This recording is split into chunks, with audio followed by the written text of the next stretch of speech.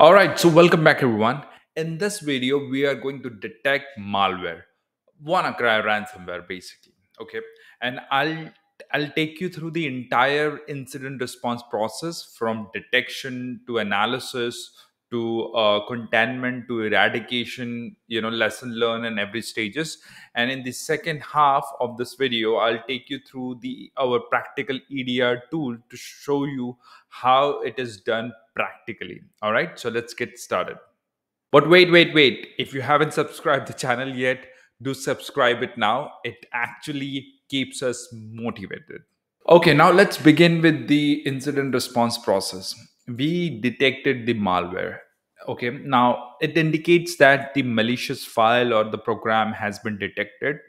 And in most of the cases, if you are on your EDR solutions like CrowdStrike, uh, Microsoft Defender for Endpoint, Cisco XDR, or Sentinel One, it will be quarantined by itself automatically, and you get the message saying that malware has been detected. And in bracket, probably you will also see quarantine.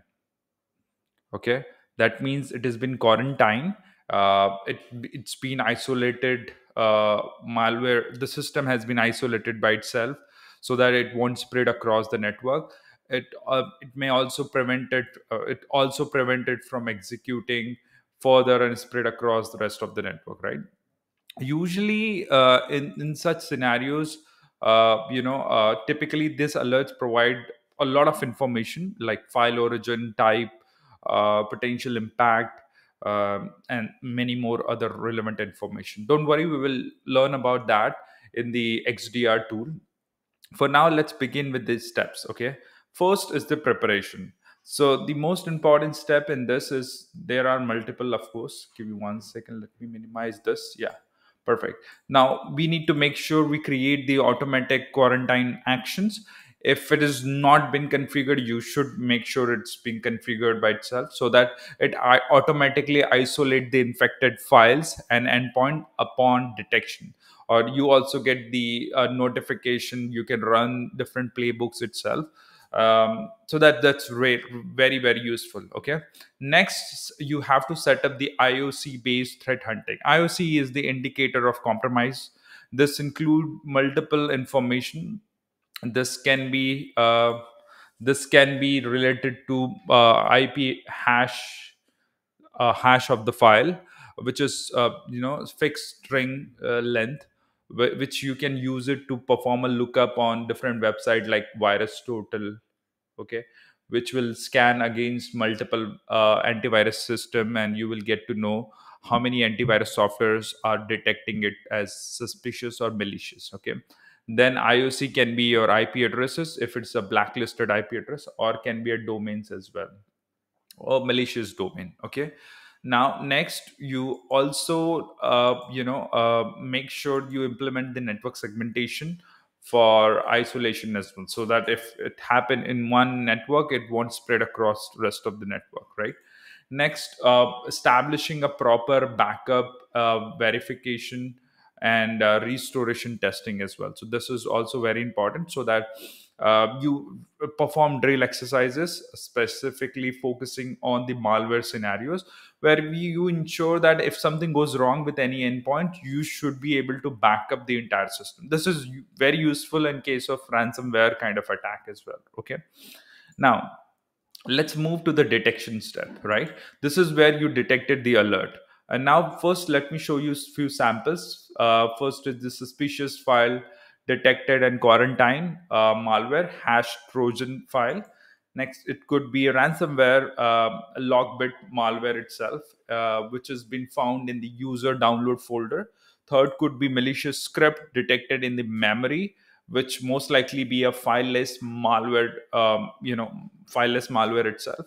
In our case we are going to look at the demo or sample wannacry uh, malware okay uh, ransomware. Now uh, as a part of detection your job would be to make sure you analyze the quarantine file. You look at how many systems are currently being impacted. What is the iocs i mean what is the um, you know uh, observable you have or maybe iocs you have okay? A few things i wanted to tell you which is very important. Um, the uh, there, there are difference between observables and IOCs. IOC is the indicator of compromise that yes, your network or your endpoint has been compromised for sure, 100%. Okay. But observables are possible IOC. These are possible IOCs. Okay. That the chances of uh, the, the confidence level is probably 50% or maybe 70%. So most likely both are same, where it could be a file name, uh, malicious file name, IP address, domain name, uh, hash, file hash value as well. But th- there is a difference in the observable and IOC. I hope you understand that now. Okay. Now let's talk about the next step, which you will try to perform the cross check with the threat intelligence tools like virus total as well, and you also investigate the user how exactly it came into the system, right? Next, let's move into the next step, which is false positive. Okay, now false positive is very important. While you do the analysis, you also make sure you these are not really the legitimate application being flagged due to outdated uh, antivirus definition or unusual file behavior or any unsigned update as well. So this is very very important, and this is usually done by the SOC analyst level one itself in the very in the in the in the beginning. Okay, and a SOC analyst level two should also verify that before they go ahead in the further step. Okay? Now once we verified once we have done with the analysis then we need to move to the quarantine step okay? Sorry containment step okay? In the containment we basically make sure we isolate the affected endpoint. Well to be very honest there could be multiple uh, containment steps involved but i'm just covering few important one when we look at our xdr tool i'll show you multiple other containment uh, options as well. So first could be isolate the affected endpoints so that uh, if if you isolate the machine if you isolate the machine uh, let's say this there are probably three machine in a network right? In in your situation in the enterprise network there could be 100 right? So if this machine get compromised and uh, you know um, if this machine get compromised with the ransomware it might spread across with the other machines as well. But if you isolate them from the network itself it won't spread to the rest of the machine. So that's the first thing that you have to look at. And of course before you even do that you have to make sure you verified all the affected machine in the detection step itself so that you can isolate maybe two three four how many you know it depends on that. You also need to make sure you disable the user account so that it won't be you know uh, you, you know user machine it block any unauthorized access into the system as well. You also block those malicious ip address and domains as well quickly based on the iocs that you have found earlier right? Next we have next we have uh, uh, eradication step. In the eradication step basically we make sure we remove the residual malware traces. We delete the related files registry entries uh, schedule tasks that might persist beyond the initial quarantine. Then we look at performing the uh, full malware scan of the machine. We run the comprehensive malware scan on the endpoint to ensure that all the remain all, you know all the remnants of the uh, infections are removed then we check for the persistence technique. Uh, if it's the linux we look at the cron, jo- cron jobs or if it's a windows we look at any scheduled task as well onto the machine right? Next we have recovery step. Now recovery is once everything has been done once we have we, we are sure that machine is clean now then we will plan to restore the machine. We restore from its backup that's why in the preparation steps i talk about the drill exercises right? So we make sure we restore the from the backup the healthy backup the clean backup and then we look for monitor for any reinfection as well. So we increase the monitoring of that specific endpoint and user account for post uh, eradication to detect any potential resurgence of uh, of possible infection as well. We also look patch the identified vulnerabilities as well into the system right?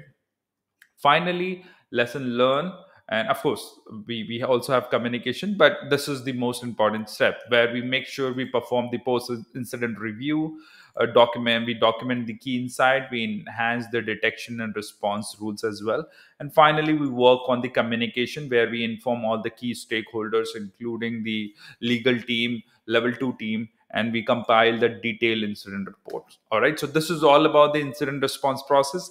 Let's look at our xdr tool practically all right, so now we are on our Cisco XDR platform, our extended detection and response tool.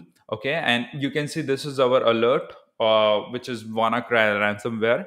Uh, and you can see only one asset has been impacted, which this is the name of the asset, and there are around 27 events into it. There are seven observable. If you remember, I told you the difference between observable and IOCs. IOCs are confirm one, observable are not so confirm. Okay so you can see there there are multiple events under each IOC. Let's go. Let's get into the detection phase first. You can find all the IOCs and you can verify as well against different verdict coming in from VirusTotal. So uh, the benefit of XDR is you don't have to manually look at the file, create a hash, and submit them on VirusTotal yourself like this. Uh, instead, uh, XDR perform the lookup on the VirusTotal automatically. You can copy the value as well here and go and submit it, and you can find the detail like 62 out of 72 security vendors flagged this file as malicious. You can see them, right? Of course, Cisco must be included somewhere. Uh, and then you can find, and also you can add it to your case or active case and investigate it further. These are all the hash value of different files and these are all different uh, you know um, observable. Maybe ip address domain file name everything. You can see this one as well. This is again another verdict. Of course this is the hash value so maybe a file okay? Next you can go to the response phase which start with the identification. So you make sure you review the incident you analyze the indicator which we have done already you can mention some notes as well so that you can you know uh, at the end you can ensure that you are following all the checklists just like what happened in the you know cabin crew or uh, flight attendant as every everything what happened in the flight right? They follow a checklist. So cisco xdr comes with those checklists as well. You can mention the no- notes as well over there right? Once your identification phase and analysis is done now next it comes to the containment this is where you make sure you contain the entire situation. You uh, contain the asset. You uh, you know contain the indicator of compromise domain url file hash uh, identify the vulnerabilities and everything right next we have you have eradication phase. This is where you mitigate the uh, vulnerability you remove the malicious content from the machine. Of course in the content because in the containment phase itself you have quarantined the machine you have actually isolated the machine. Now in the eradication phase you either re-image your system you maybe remove the malicious content but personally this is what we recommend this is what it is most it is personally recommended by me okay?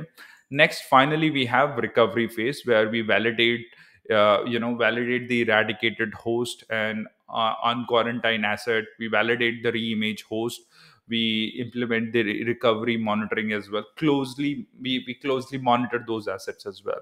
And then finally you get the report. And in the report you can see the executive summary incident summary uh, incident timeline and everything. So the, the xdr itself help you helps you build all all those detail and then you can finally download this report and share across with different stakeholder. Isn't it cool? Yes it is. Thank you so much for watching